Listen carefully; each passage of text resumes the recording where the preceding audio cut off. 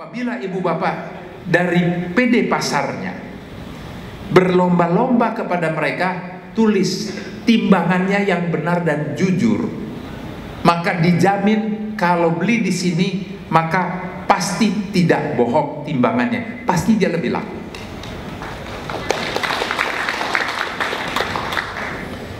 Jangan kita mengambil, kita harus mengajak para pengusaha, jangan pernah menikmati keuntungan dari kecurangan. Memang marginnya besar, sesaat dengan menipu rakyat, dengan menipu konsumen, tetapi tidak akan berlangsung lama.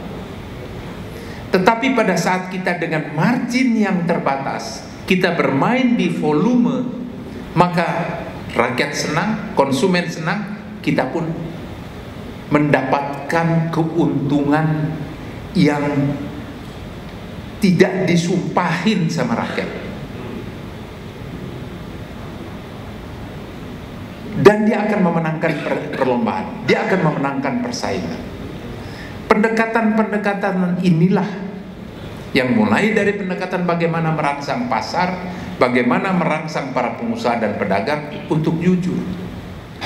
Dengan demikian Ibu Bapak dan Saudara sekalian, saya sekali lagi ingin mengajak kepada seluruh kepala daerah, kepada seluruh kepala dinas yang hadir untuk kita benar-benar melindungi konsumen, tetapi dengan cara pendekatan yang lebih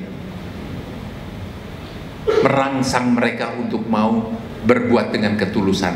Kalau masih ada juga yang tidak itu, ya kita tangkap saja. Izinnya kita cabut, mereka tidak usah berusaha lagi karena kerjaannya nipu rakyat. Itu yang kita lakukan.